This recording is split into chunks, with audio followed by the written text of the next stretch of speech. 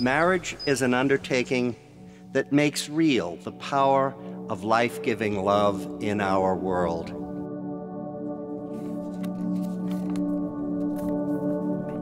First, I want to say you look incredibly beautiful.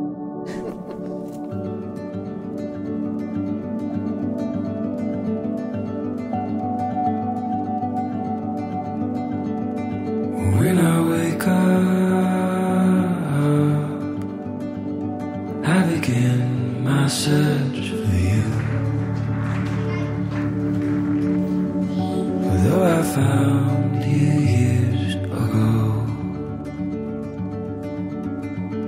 when I wasn't searching high, nor was I searching.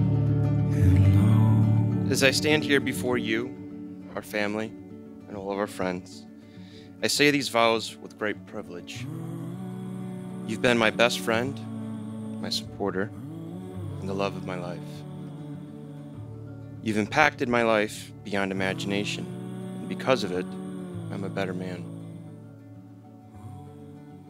I am me because of you. I've learned how to love and what love is because of you. My commitment to you is I promise to be patient if you're running behind. Support during times that may be bumpy. Love you unconditionally. And of course, always be your rock. I'm forever yours. I love you. 11 years together. Years of unconditional love, indestructible friendship, unbelievable highs, lesson filled lows, and devotion that knows no bounds. In front of the people we love the most, today I promise to continue to love you through our blissful times and our saddest times, and to walk through them hand in hand, knowing every season of our lives has and will always make us stronger. Today, I promise that with each day that passes, I will love you harder, make you laugh louder, and support you as you dream bigger. I promise to honor you always with respect and honesty, and to faithfully stand by your side no matter what life throws our way.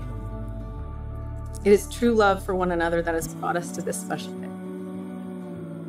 Love that has helped us grow up together over the years, and I promise to always love you as we grow old together too. 11 years together. Today, Josh, I promise you forever.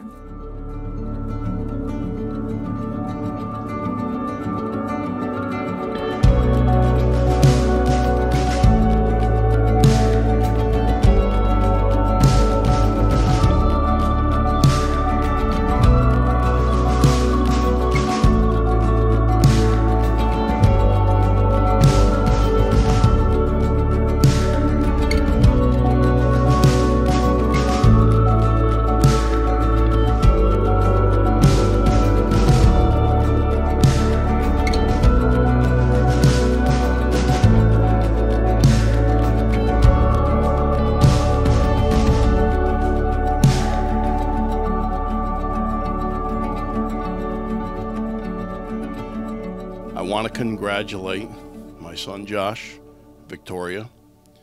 It's an amazing day. Mom and I couldn't be happier. I just want to take my hat off to you. You're a beautiful son. Any man would be proud to have you for son, and I have you. And now we have a wonderful daughter in law who's now in our family. And we love her too. I was thrilled to have girls because I never had any sisters. But if ever, you know, I wanted to have a son, it would have been Josh. and he's also a very able seaman. And uh, I mean that. I mean that in the naval sense. I'm sticking with you, honey.